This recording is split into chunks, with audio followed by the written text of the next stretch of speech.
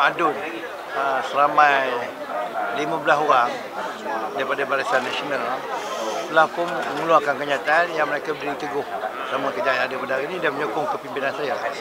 Dan ini lagi satu yang saya sering kali katakan adalah fitnah yang mereka keluarkan untuk mengelirukan rakyat, menakut-nakutkan rakyat. Kononnya akan berlaku perubahan kejayaan. Ini adalah satu budaya bagi saya yang tidak sihat kerana ini tidak berlaku secara spontan. Saya tidak pun menghubungi mana-mana adun untuk membuat kenyataan. Malahan mereka bila mendengar saja ada cerita yang sebegini, mereka terus secara spontan menafikan.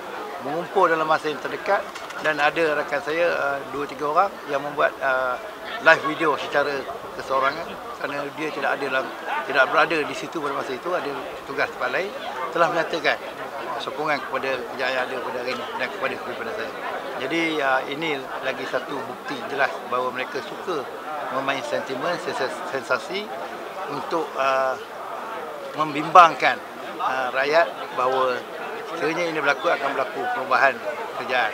Sedangkan kalau berbanding dengan kita, kita memberi tawaran kepada rakyat apa yang patut kita buat. Kita akan teruskan sebagai contohnya, kita akan teruskan penghantaran pelajar-pelajar kita daripada Pahang ke Universiti Al-Azhar, ke Jordan, dan sekarang ni kita akan hantar pula pelajar kita ke Morocco.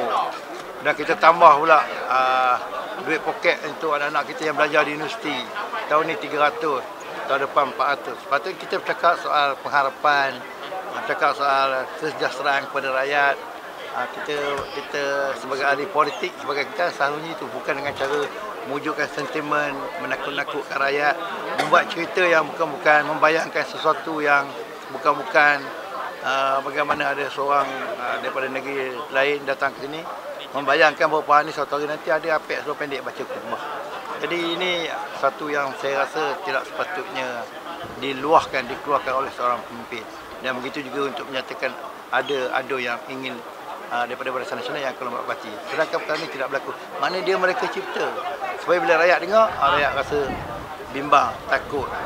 Itu ini adalah bagi saya adalah satu, satu budaya yang tidak sihat dan tidak sepatutnya keluar daripada seorang. Sebabnya pilihan raya uh, Pulai dan Sepanjeram pun jelas uh, menunjukkan bahawa apa yang mereka apa mereka nyatakan bahawa berlaku gelombang dan sebagainya tidak berlaku. Ya.